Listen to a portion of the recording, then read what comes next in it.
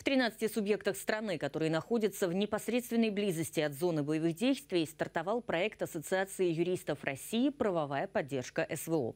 Он заработал и в Белгородской области. На протяжении полугода эксперты ассоциации будут оказывать бесплатную юридическую помощь участникам спецоперации, их родным, а также белгородцам, проживающим в приграничье.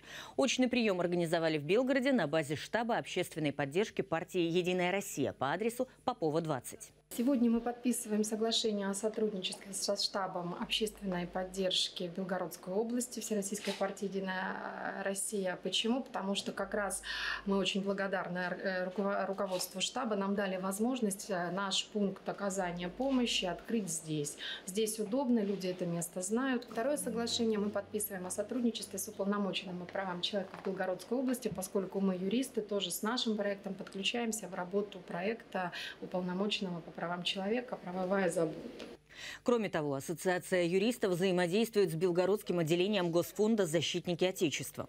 Принимать в Центре бесплатной юридической помощи будут с 10 утра до 16 часов по предварительной записи.